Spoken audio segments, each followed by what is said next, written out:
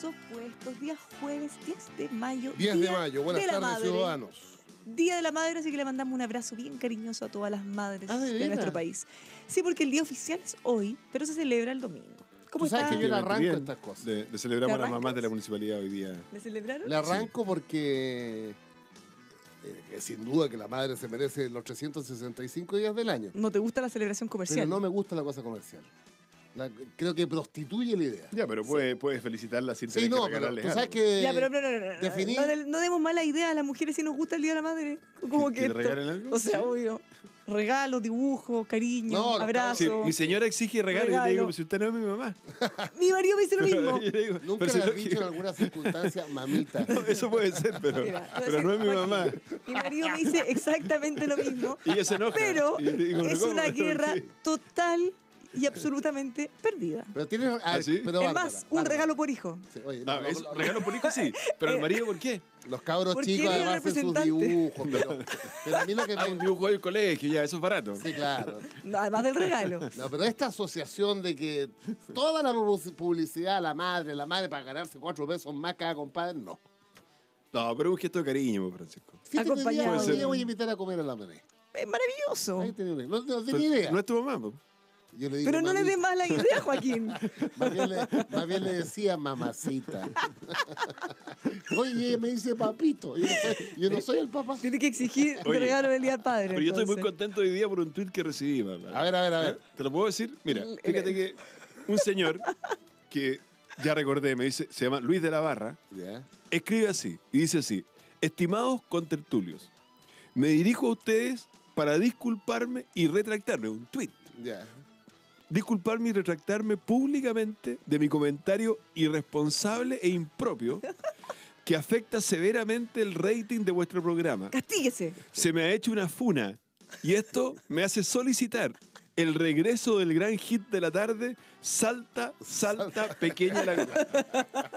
Y resulta que el señor Don Luis de la Barra fue el que escribió un tuit que dijo, ustedes más que los niños cantores de Viena, son los niños cantores dan pena. Sí, no se te ha y ahora entonces eso. se retracta Ya. por su comentario irresponsable Leva- e impropio. Leva- levantamos la sanción y a partir de hoy día volvemos a cantar. Mire, Lógico, otro auditor lógico. que escribió en, en Instagram dice: Sí, que canten vuestros hombres valientes soldados. Yo lo canto desde mi taller en Maipú.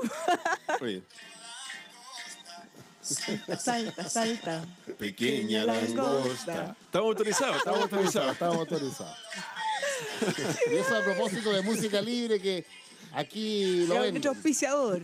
Dile al Prieta que en Cuba es peor la calidad de vida según barrio y ciudades. Que trate de Ah, comprar un sí. champú. Fíjate que varios otro. me han gracias al modelo. Varios me han tuiteado, me retaron ayer, me dijeron, usted le dejó pasar a Francisco Vidal, que, que dijo algo así como que la dictadura de, de Cuba era mejor que la dictadura de Pinochet. No, porque Yo no- habría dicho, esa pregunta no te la acepto. No te la acepto, de partida.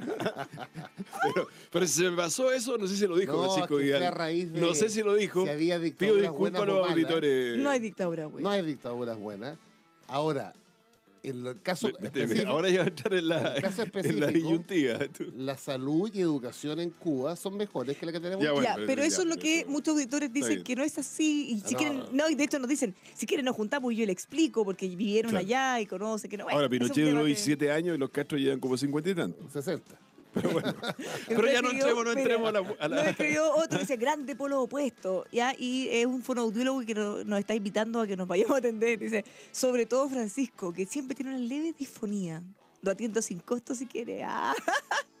¿Qué es disfonía? Sí, tú sabes, yo, yo- yo tuve que tomar un, un curso una vez. Me pasó lo mismo. me- por hablar tanto en la campaña presidencial, Sí. me quedé sin voz. ¿Ah? Y por tanto tenía que ir a las reuniones y hacer así nomás, a sentir con la cabeza. Solamente los auditores, los televidentes de Tendencias Prime podrán Canal ver. esto, 31 ¿ah? Nada más. pueden ver Canal 31. Y no podía hacer nada, ser un candidato sin 40 voz está años perdido. clase Y tomé clase de impostación de la voz. y salvo a Ricardo Álvarez, pasado profesor. que estuve como las reverendas porque me vino una influenza que perdí la voz en el estricto rigor. Me acuerdo. Nunca más me Ahora, nunca lo aprendí ¿Qué bien porque se trataba de la impostación de la voz significa de hablar con el Desde la estómago. guata. Con el estómago, tú Claro. hablas con el estómago. Pero al final no- nunca me resultó. Y sabes lo que a mí me gusta que en las salas de clases de la Alberto Hurtado y en la Portales están hechas para salas de clase. Entonces tienen una acústica para el profesor. Para que no tengas que De que no gritar. hay que gritar. Oye, pero es- fantástico porque es, que es, es como tener una bocina. Además, yo hablo fuerte porque soy sordo. ¿Pero cómo se portan los alumnos? Porque los alumnos se portan mal. Hay que estar como Ah, haciéndolos no, callar no. a ¿Todo cada rato, rato? ¿no? No, mis alumnos son. Ah, no sé por qué, pero. ¿Se portan bien? Quizás son Bien. entretenidas tus clases y cuando uno está entretenido, Y conversa son tipos de ¿no? 20 años. Oye, les quiero contar Sí. una anécdota increíble. A ver. Me subí a un taxi, porque tenía que ir de un evento a otro volando. Y Mucho evento, mucho evento, mucho bueno, sí. me, me prestaste tu ma- manager. ¿Ya? José Vargas se llama, le mando un saludo cariñoso. Y ¿El fíjate taxista? que, pero es que no escucha todos los días, se sabe toda nuestra anécdota, le mandó muchos saludos que eh, en el fondo se entretiene mucho y nos recomienda, y tanto así que comenta con amigos, cosas que se dicen en los programas. Muy bien, o de eso sea, se trata. Que Increíble. la información escurra. Sí, cada día aparece más. Increíble. Hoy día un tuitero también me dijo, un tuitero me dijo, me reclamó por una cosa a las Condes y después me dijo que le vaya bien en la graduación de su hijo. le dije, oye, pero perdóname, ¿dónde escuchaste esto? Lo- no, que yo lo escucho en el programa de radio. Ah, ya le dije, porque a nadie le he dicho esto. Está todo por Twitter. Oye, a propósito, ¿cuándo te vas? Mañana, Mañana Ah, lo, no mañana, tenemos. mañana. Sí. Mañana tenemos un reemplazo aquí que la, la No UDI lo digas. La Ah, no, ¿va a ser sorpresa? Sí, Ah, sorpresa, eh, un UDI más liberal. Claro, mira. Que está a yo- punto de yo- irse yo puedo dar una pista. Fue alcalde de las Condes. Qué difícil, qué difícil. ¿Quién será? ¿Quién será? Eduardo Jara Miranda. Sí, claro, no sé, hay varios, hay varios. Pero ya no está. Tanto como varios no. Bueno, lo Carlos invito, Correa. como Sí. siempre, que nos mande hasta invitaciones entretenidas y curiosas. Me han Estamos invitados a comer por un auditor. Sí, ¿Pero cómo así que. invitaron a comer? Sí, pues. un Con auditores restaurante. de más de 80 años, nos dice. Cosa que a Más de nosotros 80 nos llamó mucho la atención y nos dan ganas de ir. No, sí. vamos a ir a comer de todas maneras. Sí, pues, obvio. Hay que ponerse bueno hoy en El día. Así restaurante es de un amigo de él, ¿no? sí, en el que lo inauguraron hace poquito. Muy así que lo invito a que nos sigan escribiendo. mira, a, a- a Francisco Díaz le gustan las prietas, a mí me gustan los postres, especialmente la torta de mil hojas. Sí. Ya están todos dateados. Lo dejo dicho. Claro. Claro si la mezcla de las dos, prieta y torta de mil hojas, puede ser mucho. ¿eh? No, ahí nos vamos al baño todo el día. Un- Uno de los dos, claro. Oye, Bueno, pero ahora vamos a, la- en- a las cosas que Vamos a la parte pasando. seria, la parte seria de este programa. Y yo creo que la, la noticia de ayer y de hoy, aunque hay muchas más, es el dictamen de Contraloría que declara fuera del Estado de Derecho la objeción de conciencia institucional. Este protocolo que El tanto protocolo. Fuera del problema- Estado de Derecho suena muy fuerte. Bueno, no, no, es que literal es así. Bueno, este protocolo, Lo declara no sé ilegal. si, no, no sé si eh, No, lo ilegal. bueno, lo deja ilegal. sin efecto, en fácil. Ya, Ya, es Y que- resulta que no se ajusta a derecho, da lo mismo al Sí. final de No se ajusta a derecho. No es se ajusta a derecho, claro. El, el tema es que este protocolo que le significó al ministro de Salud la interpelación, La ¿se primera acuerdan? interpelación de un ministro Bueno, de este le gobierno. sigue dando dolores de cabeza al gobierno porque ahora la Contraloría, como bien tú decías, declaró que eh, no procede este protocolo, por lo que tienen que hacerlo de nuevo, y eh, no califica, en el fondo, eh, la objeción de conciencia para, sobre todo, Institucional. Para que instituciones reciban- que reciban recursos públicos en esa Dicho de materia. otra manera, dice, me, aprendí algo yo. Instituciones que al recibir fondos públicos son parte de la red de asistencia pública, aunque sean privados. Ese es el concepto que usó la Sí, Contraloría. el, cons- el concepto de la Contraloría es discutible, pero bueno, lo- el concepto de la Contraloría principalmente dice que los hospitales públicos, primero, ¿ah? Eh, tienen que hacer caso a la ley. Y por tanto, digamos, si la ley está, tiene que respetarse. Y en el caso de, la- de las hospitales privados o clínicas privadas que tienen convenios con hospitales públicos, para los efectos son como subsidiarios del, Exactamente. del hospital público. Por lo tanto, tienen que cumplir la misma norma.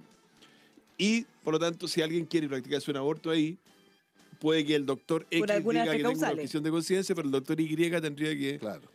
eh, hacer la operación. Ahora, no obstante, Ahora. el hospital de San Bernardo dijo que no... A ver, dijo que todos los médicos tenían objeción de conciencia. Es que ahí está el punto, Francisco, y lo hemos dicho varias veces. Este eh, protocolo es totalmente necesario en la medida práctica que todos los doctores que tú tengas eh, tengan esta objeción de conciencia. Sobre todo estamos hablando de una de las tres causales, que es la por Violación. violación. Sí, ¿ya? Las ahora, otras no tienen problema. Hay un punto jurídico ¿ah? que no deja de ser, que es que el Tribunal Constitucional estableció la posibilidad de que sí pudiera haber objeción de conciencia institucional. Porque evidentemente objeción de conciencia de una persona, eso está clarísimo, puede haberla. Incluso una persona puede decir, mira, yo no, yo no puedo hacer el servicio militar. Así. o yo no puedo vacunarme por objeción de conciencia. Y con mayor razón, un doctor puede decir, mira, yo no, yo no quiero abortar, no quiero hacer, practicar este aborto. Pero el Tribunal Constitucional había dicho que eh, la objeción de conciencia podía ser institucional.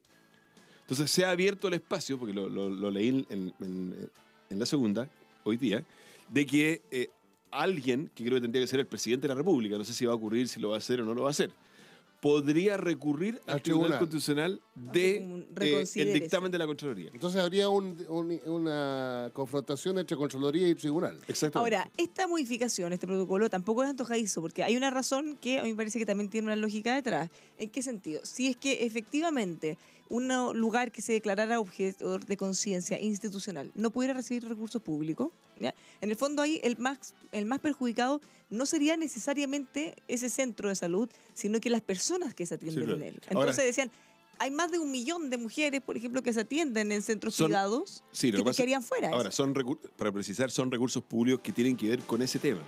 O sea, Sí. yo, no, yo, yo no dejo de recibir recursos públicos para atender, no sé, por los resfríos, digamos. Pero Claro, en, el tema gínico, gínico obstétrico. así es. Pero, pero obviamente que eso es amplio. Por, por ejemplo, un cáncer cervicuterino, por Claro. ejemplo. ¿Ah? Entonces, tú le cierras esa puerta a la lógico, gente, entonces, terminas perjudicando a a, la esas gente. personas. Entonces, es complejo. Tiene su derivada política que la podemos conversar en un, Sí, en un claro. minuto más. Pero es Le vamos a complejo. comentar ahora mismo, después de un consejo. Estamos escuchando Polos Opuestos en El Conquistador. Afinen sus voces, prepárense. A ver. Porque vamos a hablar de música libre. En gloria y majestad. Entonces- música libre. Tiene los derechos de autor pagados, así que usted no va a tener que pagarlos aparte. Así usted Y se paga con caja la chica, manito en la caja chica, paga y no tiene que hacer estos gastos Entonces, un, dos, tres. Salta, salta. Pequeña langosta. ¿Eh? Si usted le trae estos recuerdos, Gatito da costa. ¿Eh? No, es que está autorizado No, está- ya. ya está autorizado. ya. Nuestro ¿Ah? censor levantó la censura. Levantó la censura porque a su vez él fue funado por muchos auditores que le dijeron, pero ¿cómo puede impedir Córtala que Francisco. Vidal Lo y, cante. y- y su polo opuesto cante salta pequeña langosta? Es Bueno, gravísimo. eh, pero vamos. Afecta el rating del programa. dijo él. musicalibre.cl, contrate su servicio de música de todo tipo. Ya le decíamos con la garantía que usted no tiene que pagar los derechos de autor porque están pagados y además muy barato se paga con caja chica. Oye, el música efecto libre. político de lo que estamos hablando es que podría haber una acusación constitucional. ¿eh? Y están, Podría, pero y es un están- poquito... y están los votos. ¿eh? Sí, no, sí, los votos siempre van a estar. Pero si el, porque usted si tiene el mayoría. gobierno- ¿ah? si el pero un poquito no exagerado. con esto, Es un poquito exagerado. Ya, Pero- le, ya le estoy Porque, pero, espérate, una Pero cosa. además, porque, oye, lo dijo al presidente. Sí, bueno, por eso, por eso se revivió toda esa historia de que el protocolo lo hizo, Claro. el- eh, o sea, el cambio del protocolo lo hizo sin que le avisara al presidente. Pero en fin, pero hay un tema ahí que es la Contraloría es muy jurídico-administrativa, como corresponde. Ujú. Entonces, en el fondo, la Contraloría lo que está diciendo, fundamentalmente, es que todos estos cambios o, todos estos mm, interpretaciones de la ley, por así decirlo, porque la ley es clarísima, eh, no pueden hacerse a través de un protocolo, sino que tienen que hacerse a través de un reglamento. La ley puede ser, o sea, cómo tú aterrizas la ley. Eh, lo hemos visto muchas veces como ministros nosotros. Los Sí, los reglamentos. Y, Que y a se veces aprueba son, una ley, pero dice, bueno, habrá un reglamento Ah, respectivo que que son tan importantes como la ley. Entonces, aquí no, no hubo un reglamento, sino que hubo un protocolo. Y la Contraloría objeta fundamentalmente eso. Perfecto. Y dice, si usted quiere hacer estas cosas, en todo caso, la vía no es un protocolo, es el reglamento. Y ahí veremos. ¿Ya? Ya, pero ya fue interpelado el ministro. Yo creo que aquí la solución es que el gobierno se haga cargo de decir, bueno, ahora nos vamos a ajustar, no vamos a generar problemas y cómo lo No, solucionamos. tienen que hacer un, comilla, un protocolo nuevo. o un Claro, reglamento. o un reglamento. O un reglamento. Y ahí hay que ver cómo es, porque obviamente que no es fácil salvar el punto de la plata, lo que dice Así, ahí exactamente. Francisco Vidal, que es, si yo tengo objeción de conciencia, pero la Contraloría dice, ok, pero usted es subsidiario de un, de un hospital público, por lo tanto, entonces, digamos, Es que, bueno, que esa es una contradicción casi insalvable. Está difícil eso. Claro, muy difícil. Doctor París, tengo que estar disponible para ser ministro, entre comillas. Sí, si viese... Si el presidente me lo pide. ¿Pero cómo? El pero que- piso. Pero ¿cómo se hace? Con el No, no, le hicieron serrucho. una entrevista y aparentemente le preguntaron la típica pregunta, ¿Está bueno, estaría disponible a ser ministro de Salud? Te apuesto que dijo, Y no, dijo, no. sí, Debe haber dicho tres sí. veces que no y después dijo, ya, Pero sí, no tendría se que dice. Menos en este momento. Menos en este momento. Ya, pero ya, démosle el beneficio de la duda al y que la hayan París, Dile que estoy disponible a hacerle una clase de política por media hora. y gratis. Bueno, claro, la- porque, ¿por está- qué lo entrevistan? Porque, te- porque está Porque en riesgo de ser, ¿no es Salud. cierto? Claro, lógico. Y él Entonces, podría si te Pero ahí le están quemando. obviamente que no puedes decir ese criterio, que estoy listo. O sea, no, no está, no, dejó está listo. Dice, tendría que estar. En el fondo, es imposible negarse. Claro. Estoy a disposición del presidente. Tendría que estar Y disponible. Santelice, después de ese debe estar dando vueltas en círculo. Además, yo veo a Santelice tan entusiasta. Sí, es entusiasta. Ah, es es entusiasta. entusiasta. Ya, pero Ha, Oye, ha- ha metido Sí, las patas. sí, pero- no, no, pero, pero en la interpelación lo hizo bien, fíjate. O sea, Sí, sí. se defendió bien y gesticulaba. Era- eh, lo hizo políticamente. Muy bien. yo creo que el costo Y yo político. confirmé que fue demócrata cristiano. ¿eh? Bueno, Y- y y- alguien tuiteó, no sé si será cierto, y- y bien alguien cristiano. tuiteó que fue el hombre clave en la operación a Guido Girardi. Alguien Ah, tuiteó eso, Ahí no tengo idea. diciendo ustedes que hablan tanto de otros Santelice, fíjense en este detalle, me dijeron. A lo mejor el propio Guido Sí, claro. tuitea más tarde Claro. y nos dice si es verdad sí, o no. po, ¿verdad que no escribió un auditor también en redes sociales? Sí, diciendo que nos eso. decía que lo sal- le salvó la, el- Le salvó la le vida, salvó dijo. la vida. Claro, Claro.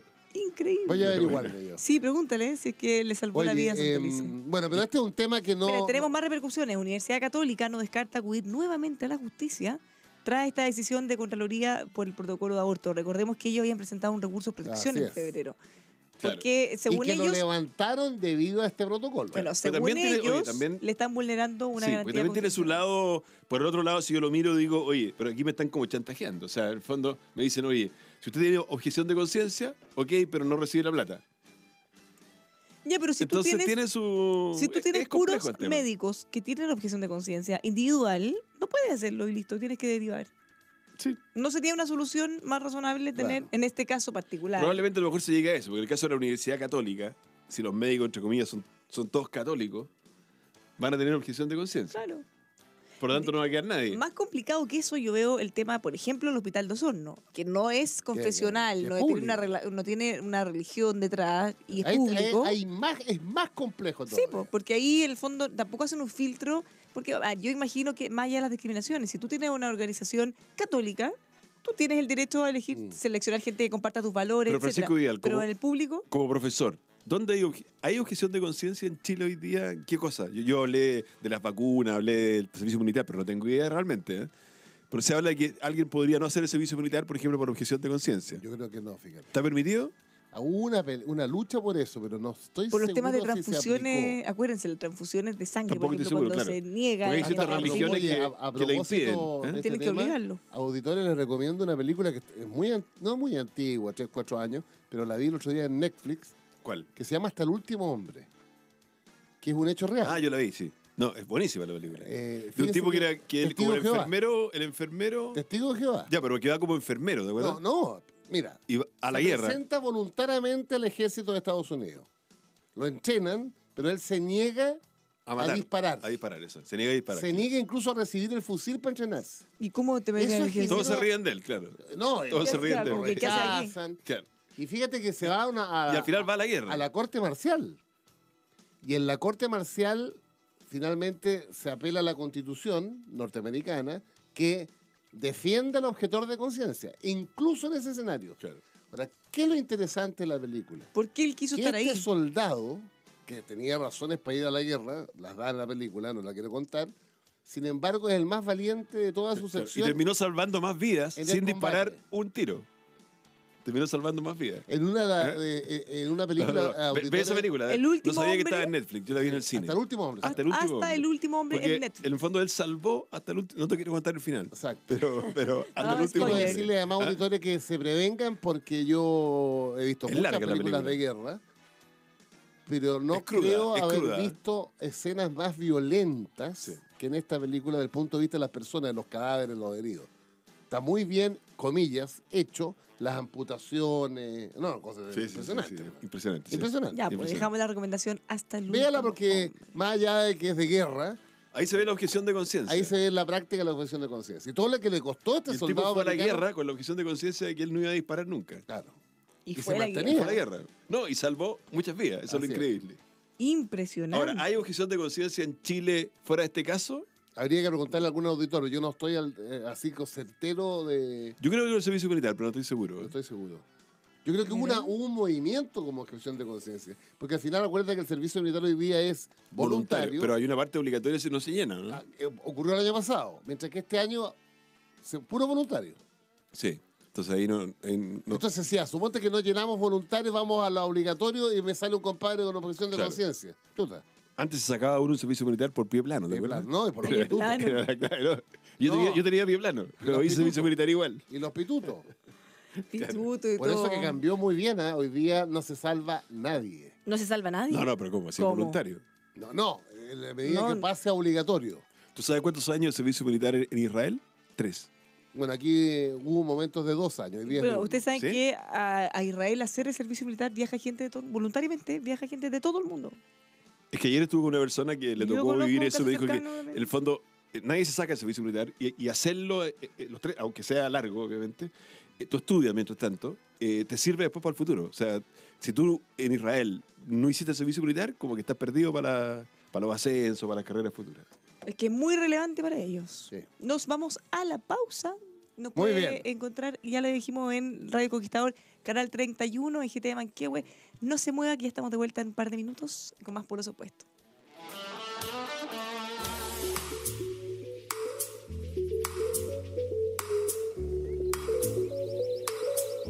Siga con nosotros. Canal 31. Lo que todos queremos ver.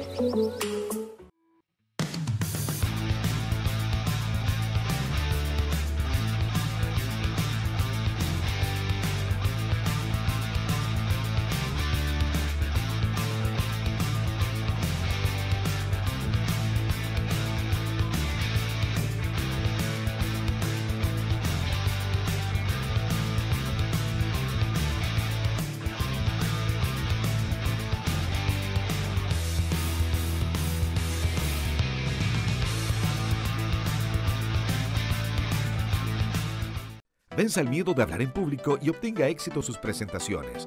Domine el pánico escénico y logre una comunicación eficaz, afectiva, alegre y atractiva.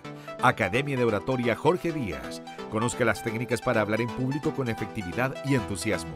Inscríbase en nuestros cursos en www.oratoria.cl o llámenos al 9 988 27960. Aprenda los nuevos mecanismos de la comunicación humana para saber persuadir, encantar, vender ideas y proyectos.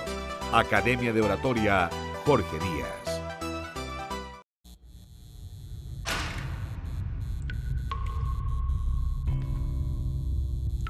En los momentos más difíciles, cuando vemos todo negro y perdemos las esperanzas, se abre una línea directa.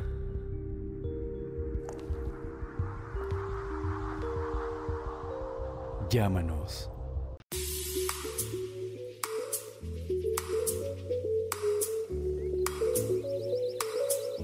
Siga con nosotros. Canal 31. Lo que todos queremos ver.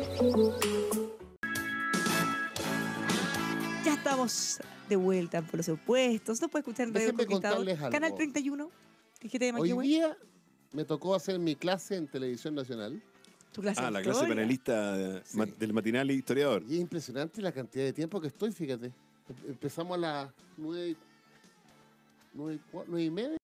No, un cuarto para las nueve. Y me tuve que ir a las diez.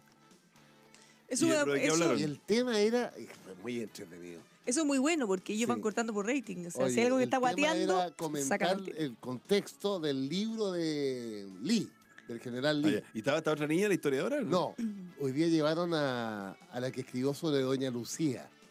Ay, ¿cómo se llama la famosa periodista, pues? Es Que escribió el libro sobre Doña Lucía y, los, eh, y las memorias no, no oficiales. Muy famosa. Escribió la- el, el- el libro negro de la justicia chilena. Alejandra, Alejandra Matus. Matus. La Alejandra Ah, Matus. Alejandra Ahí, Matus, acá. Ah, está que, que además colega mío en la portal, le vamos, hacemos clases. Pero ella es periodista, Periodista. no historiadora. No. No. Además, ella hizo, ha hecho varios libros, ¿no? Entonces, increíble, los panelistas del Buenos Días a Todos se interesaron más por las copuchas del libro de la Doña Lucía. de Doña Lucía que por mi tema. Pasa la es farándula- Los panelistas por el día todo. La farándula. Y claro, y ninguno había nacido para el 11 de septiembre ni Claro, nada. no, pero ¿eh? que imagínate, ¿qué dijo ese día? ¿Qué hizo no sé qué? Claro, puede ser entretenido. Oye, lo que más le llamó la atención de la. Hoy tengo un bloqueo. De la. Alejandra De Matus. la Alejandra. Es que ella decía que Pinochet era bien infiel. ¿Ya? Y eso lo dice en el libro de, de- de la. ¿ah? Sí, la atribuye. Picado la araña, se Picado la araña. se decía en los antiguos tiempos. a En los se- antiguos tiempos se decía Oye, picado la araña. Y me contó algo que a mí se me dio ido en el libro de la Alejandra, y es que Pinochet se enamoró de una ecuatoriana. Y eso significó que doña Lucía se viniera a Chile. Pero eso fue, ¿fue agregado militar allá? ¿Algo Fue así? agregado militar. No, entonces, ¿para qué te cuento? Como saltar las panelistas. Ahí están todos fascinados Claro, el sí. Kawin. Cuénteme, cuénteme. ¿Y quién fue? cómo ¿Cómo, era? fue? ¿Cómo era? Muestre fotos. ¿Y cuántas ¿Quién era más mujeres tiene? Yo trataba de meterle en la política al lado de esta cuestión. No, pero fue interesante. ¿Sabes lo que ayuda mucho en, en este, en esta parte del programa? El, el apoyo audiovisual. Claro. Porque pues. fíjate que pusieron ahí entrevistas allí. Entrevistas. Grabada, así en vivo en directo. O sea, cuando, era cuando era. comandante jefe de la Fuerza Aérea y después. Entonces, bueno, lo pasé bien. Y a propósito de este tema, a propósito de Pinochet, sigue la polémica con lo que conversamos ayer antes de Bueno, irnos eso te demuestra lo que tantas veces he respecto dicho yo. a la salida del director del Museo de que. Pinochet, hasta- mira, ya está muerto ya, pero igual sigue dividiendo a los chilenos. Pero podríamos decir lo mismo Allende en el otro lado. Sí. Son figuras que Bueno, mira, desunen los y unen. Yo diría, yo diría que han, pero- ardido con este tema. ¿eh? A ver, echa, Se- se- No, no, no, no. Los WhatsApp UDI que yo participo Los antecedentes. aquí eh, están full con Moreira. Antecedentes, antes de eso. Moreira. Una exposición, Museo de Historia, en Sí. donde en un panel llamado Hijos de la Libertad aparecían varios personajes públicos bien relevantes. mucho. Entre ellos el presidente Salvador Allende. Elwin, Ya, Elvin y muchos más. Bachelet. Y entre medio aparecía también el Pinochet con una frase, en el fondo, eh, celebrando la liberación de nuestro eh, pueblo, el justificando el marxismo. golpe. Liberación del marxismo. Exactamente.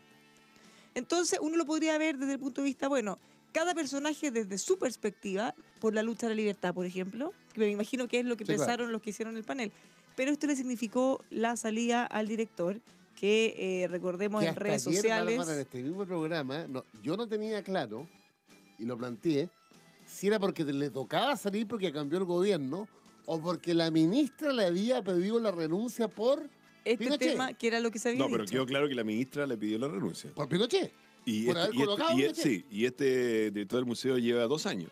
Claro. O sea, fue nombrado en el gobierno de la presidenta Bachelet. Ahora, Y- ardieron las redes sociales, Giorgio Jackson, Los WhatsApp entre Uy, otros, Pone a la ministra uy, renuncia de ya, Cultura La vetaron. diciendo renuncia ya.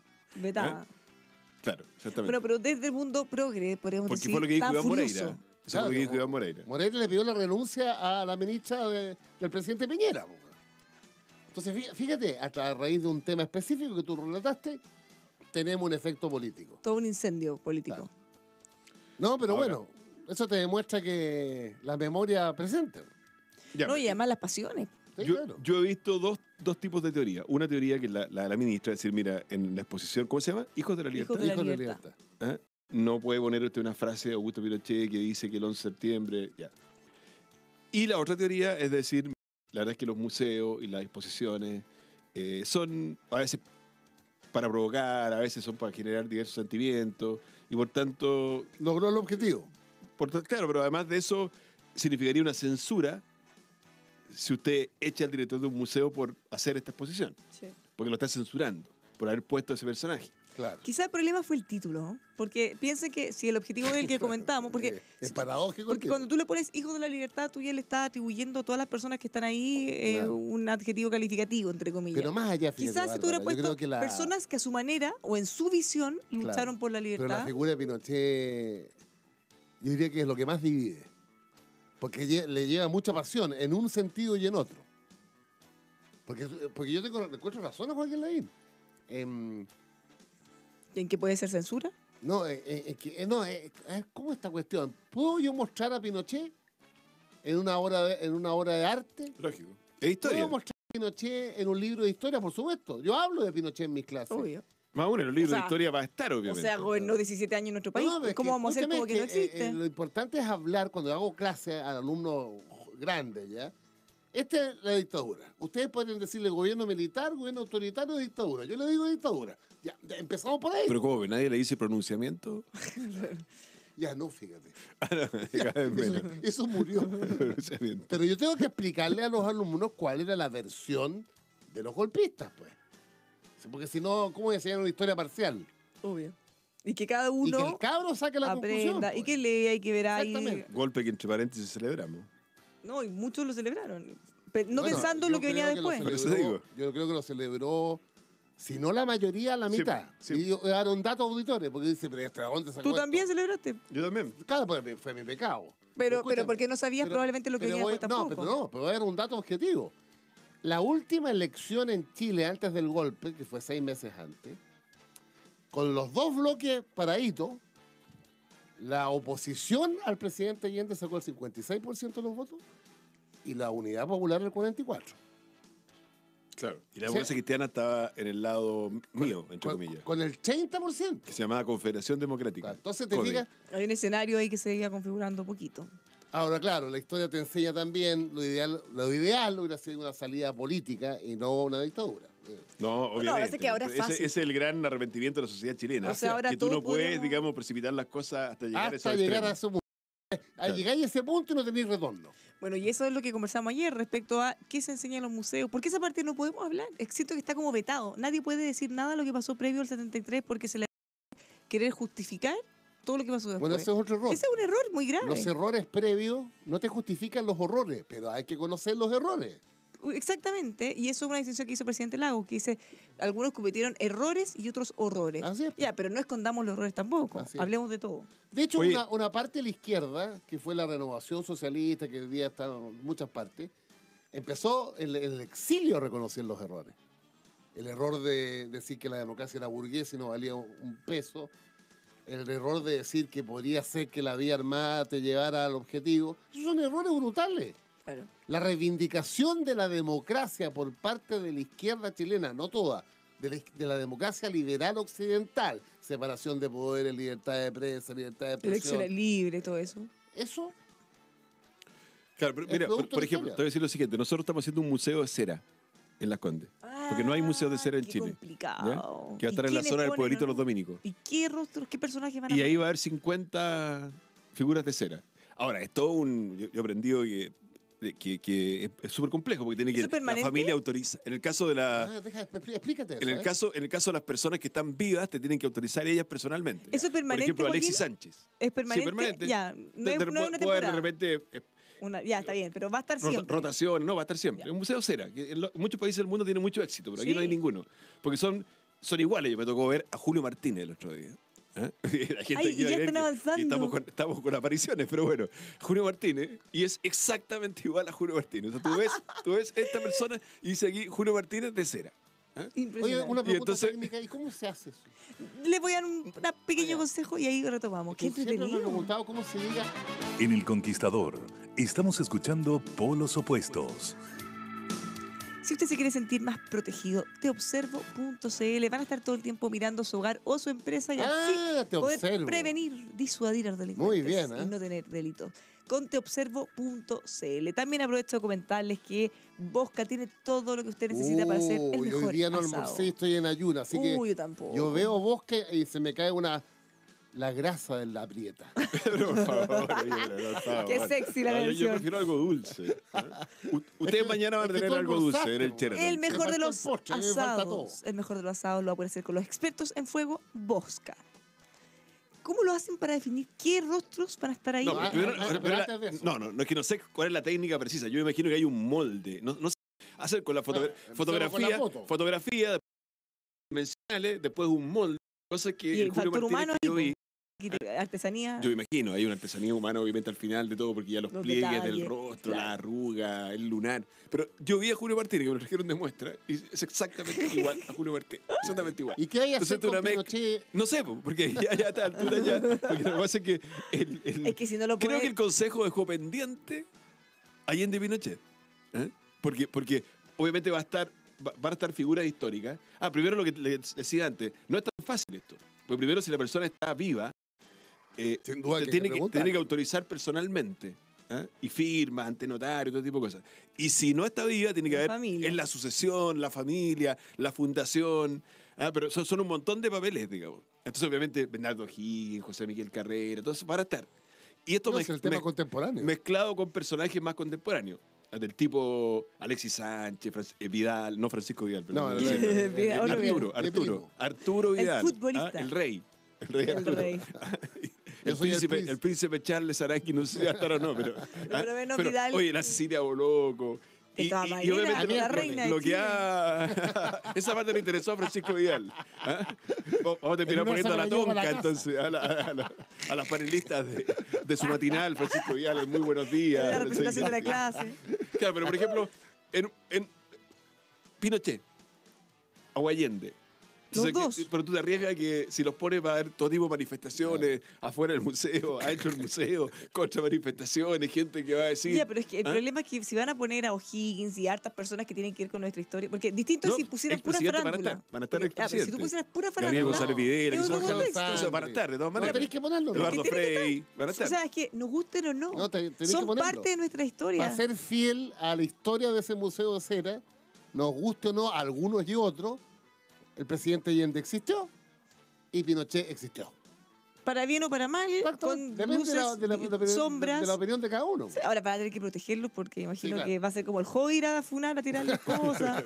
a- pero como si le Ahora tiran él escupo a la autoridad. Oye, si él las condes protege más al presidente Allende. po.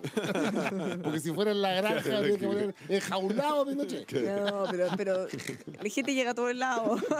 Pero de todas maneras son parte de lo que somos. Claro. para bien o para Ahora, mal. ¿lo ponemos de uniforme o en el traje azul con, una perla en la. No, en no lo con los lentes corbata? Negros, no. ¿Ah? Porque eso no Ponle uniforme con los lentes negros. No, perdóname. Sí. La perla lo usó Perdóname, solamente la perla. cuando se disfrazó de civil para, para el plebiscito del 88. Eh, Con uniforme, yo creo. ¿No? Y estaba con Hay, perla. no, pero hay que ponerlo acá con uniforme. No, que lo, lo de la perla es un Yo te detalle llevo que, los que anteojos. Francisco Vidal se, se acuerda. Porque Oye, yo te llevo los con una anteojos. corbata con una perla. Te presto los anteojos. Con negros. Esos anteojos no existen. O ahí están en un Pero- museo. divertido parte. que al final eh, uno piensa, oh, el museo se era, que entretenido, y de repente llegamos hasta este punto, No, no, y el que de verdad va a ser Es que tema, la va a memoria ser está tema, presente siempre, pues, muchachos. va a ser tema. ¿Quién no? ¿Por qué sí? ¿Qui- Nos ¿Quiere voy a invitar un recorrido privado al Museo de Cera. No, eso sí. Antes Francisco que lo Vidal lo va a inauguren. tener que llevar amarrado. Y nos sacamos selfies con los personajes. Exactamente. Y, una- y una- un tecito con galleta, una cosa. Obvio, con comida, de todas Y un Jorge maneras. Alessandri con bufanda. Exactamente. Aunque haga mucho calor. Y Gabriel González Videla. Hay invitaciones que son más entretenidas que otras. Hay algunas que las rechazan. Y estamos hablando de los obispos que eh, han viajado a juntarse con el Papa ¿Cuándo, cuándo es la reunión? Este fin de semana. ¿Es el, ¿Es el lunes 14? Ah, el lunes 14 entonces. Claro, martes 15, miércoles 16 hasta el jueves 17. Bueno, hay un personaje muy conocido, muy Importante importante, en este tema, en ¿eh? nuestro país y en este tema, que es el cardenal Francisco Javier Errázuri. Que le mandó una nota al Papa de 14 páginas eh, y no va a ir. De hecho, está está lo que leí es que Razuri está en Santiago. Sí. Ahora, no, no tiene por qué ir, entiendo yo, ¿eh? porque ya no es. O sea, es obispo emérito o arzobispo emérito. O sea, ¿eh? Igual como el señor Medina, que está muy viejito. eh, y creo que hay otro obispo también que está como Mm. enfermo, que no va a ir. Bueno, de hecho, Sati ya pasó la línea. Claro, pero, pero todavía 76 sigue siendo. Sí. Así que no creo que tenga obligación de ir. digamos. Ahora sería bueno Lo que que pasa es fuera. como ha sido actor importante, Monserrat Razzoli. Claro, podría. Ahora, lo que vaya a pasar. Y vi que Juan él, Barros está, porque también se especuló que podría no estar. Pero no, está, de hecho, leí que Barro está en Europa. está en Europa y va a estar. Ahora, ¿sabes cuál, por qué es importante? Va a ser que importante, vamos a ver cuánto se filtra esa. Oye, oye par- paréntesis, ¿puedo hacer un paréntesis muy corto? Dale. ayer esa, esa filtración que nosotros leímos del general Murillo, Sí, ¿eh? Eh, que hablaba con el del. hablaba del estado de trago que estaba. Claro, que mi general estaba copeteado y todo eso, que después lo vi en la televisión la noche Sí. también. Pero esa, esa es una filtración también, ¿o no? No, yo creo que es más grave. ¿Eh? Porque, porque ahora que estamos de filtración, se filtró la hoja de Hermes Soto, pero se filtró la declaración de general Murillo, Grabada. grabada. Ahora, lo que yo vi en ¿Eso también es una filtración o no? es que el Porque que nadie ha entrado a ese tema. El que grabó era el coronel que le tomaba declaraciones a Murillo. Claro. Y puede ser que sean que estén que bien que en un sumario tú grabes, puede Pero ser. ¿eh? como Puede todos grabando todo, filtrando cosas. Tú grabas en un sumario ya es una cosa práctica. El problema es cómo le llegó al mostrador. Claro. O sea, en alguien el fondo se, filtró equipo la declaración se lo mostró y se lo pasó al mostrador. Pues. ¿Y cómo le llegó la hoja una de vida conversión en que a había originalmente, oye, dos personas. Dos personas, exactamente. ¿Quién está filtrando esas cosas? ¿Y por qué llegó a, a- a la otra, la hoja de vida de Hermes Soto al diputado Gutiérrez? sí, Tampoco se sabe. Eso también está pendiente. ¿Cómo llegó a su mano? Bueno, eso te demuestra que la filtración es Capaz parte- que este programa se filtre completo. ¿eh? Exactamente. es parte de la Estamos siendo grabados. El uso de la grabación. Canal 31 que te llaman, qué bueno. Nos tienen ahí. Todo lo que cortito. genera el libro que yo comenté en la mañana en Televisión Nacional es... ¿qué, ¿Cuál es la novedad de ese libro? Las grabaciones de Lee a. Pinochet. Sí. Porque todo lo demás yo lo había leído. Porque además son grabaciones en ámbitos privados. Que, que Claro, los dos los mucho dos tiempo. solitos.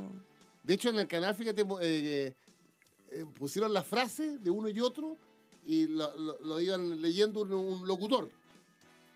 Pero es- una conversación de dos tipos de- directo al grano, Grabada a la mala, digamos. grabada a la bala. Claro, que en ese caso Porque tiene. Pinochet no se lo ha jurado ni Jamás. soñado que lo están grabando. Claro, jamás. No, y en ese caso, además, una de las partes sabía, porque no era que los alguien los espió. es No, no, Uno pues. estaba grabando el otro y obviamente controlando lo que él mismo decía. Y a propósito de grabaciones históricas, auditores, no sé, no sé en qué parte están. Alguna vez lo escribió un libro que se llamaba Interferencia Secreta, la, la lamentable periodista fallecida Patricia Verdugo, que el libro se llamaba Interferencia Secreta y te lo vendían con la grabación al lado. Ah, perfecto. Y la grabación es espectacular porque tú sabes que es el 11 de septiembre en la mañana en que un radio aficionado Se lo- colgó. se colgó de las comunicaciones entre Lee, Pinochet y Merino. Algo me acuerdo yo de eso. Y hablaba en inglés de repente, Marino, ¿no? No, el Carvajal, Ah, el almirante Carvajal. cuando le dice a El Lee almirante Carvajal, eh, que Allende está muerto, claro. no, no haya otra cosa. eh, eh, eh, Mr. Allende committed suicide. o algo así. Exactamente. Se supone que nadie entendió. No, oye, claro, nadie se había ocurrido Como cuando uno habla con la señora. Le voy a y- proponer al y- y- canal- y jerigonza porque Que no entiendan los hijos. Y entiendan más. me acabo de acordar que le voy a proponer al canal que analicemos ese- esa grabación. Es larga. ¿eh?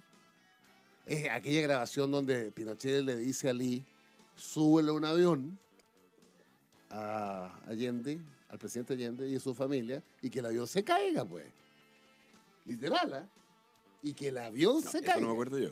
¿Pero ¿y cómo se va a caer si el piloto? Ah, cagó el piloto. No, estás loco. No, no, no. No, yo creo que era para, para sacar a los extranjeros. No, sin duda se le ofreció el avión al presidente Allende. Le ofrecieron sacarlo del a él y a, país. y a- y a los Y a la fieles estimadas señora. pertinentes. Sí. Cosa que era difícil. Pero escuchar a Pinochet enojado dirigiéndose a sus colegas, eh, ¿cómo es, cómo es la- ese famoso dicho? Mata a la perra para que se acabe la jauría o algo La leva. Matando a la Muerta, perra. muerta la perra sacada de la leva. Exactamente. Mm. Bueno, voy a proponer ese tema para Televisión Nacional. Pero que cada día más. Usted eh, traiga temas para pueblo opuesto, ¿no? Televisión Nacional. Olvídese de Televisión Nacional si eso no existe. ¿Qué, qué es eso? ¿Ah? Oye, el Vi, vi que están rindiendo examen los, los candidatos al Sí, directorio. ¿eh? yo creo que los van a aprobar. Están asistiendo, que son la Pilar Vergara, Gonzalo Cordero y la Anita Oluille. ¿eh? y ahí Exactamente. eso es lo último. Son la representación de la derecha en todas sus matices en el Televisión Nacional. Matices. ¿Que son siete directores? Seis. El séptimo. No, son siete, incluyendo el presidente del Ah, que Francisco Rego en este caso. Que me llamó, fíjate. Quiere juntarse a conversar conmigo. Bueno, tiene derecho a hablar con un panelista en Muy Buenos Días. Supongo que será en esa calidad. ¿ah? O de por lo opuesto. ¿Qué Francisco, si los quieres llevar a Tiene muchas, TVN. calidad- eh, cual- muchas calidades diferentes, sombreros distintos a Francisco. Exactamente. Claro. Pero bueno. ¿Calidad de Ahora qué? cantante también. Y además somos cantantes. Claro. Y oye, lo otro antes de irnos, eh, que me preocupa nuevamente el tema de que la Contraloría detectó un sobreprecio en la compra de dos helicópteros del ejército. 8 millones y medio de dólares. Sí. ¿Y cuál, cuál sería el sobreprecio? En ¿Pero eso por proporción, más o menos. helicóptero o entre los dos? Entre los dos helicópteros deben ser unos 57 millones de dólares o no. Ah, Lo, lo que- lo- lo que dice la Contraloría que en la suma de los dos helicópteros se pagó un sobreprecio de 8 millones de dólares. Una vez más, Mucho lata. es la Contraloría, pero no, no es el de Clinic. No, no. Pero no, la venta es, de armas siempre han estado Oh. rodeadas de estas cuestiones. esto es serio. Uno nunca sabe si es Mañana abordemos lo mejor si es que nos da el tiempo, porque ahora nos tenemos que ir. Lo invito a que nos mande sus comentarios, sus mensajes. Oye, lo primero, que, que te vaya bien en Nueva York. Ah, pero muchas gracias. Un abrazo al hijo y al al papá, hijo- papá Chocho. Y dile que aquí lo esperamos en el PPD para que ingrese a militar. Ya, acompáñenos, escríbanos en las redes Se va a quedar sociales. allá, yo creo, ante esa En- oferta. Mándenos todos sus comentarios, invi- hasta invitaciones hemos recibido todo. En Instagram, en Bárbara Briceno K, con C y N, Bárbara Briceno K. Que tengan una muy buena tarde, los dejamos invitados hasta mañana con panelistas sorpresa. Así.